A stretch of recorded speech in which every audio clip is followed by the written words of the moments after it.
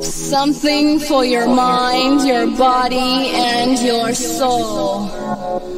It's the power to arouse curiosity.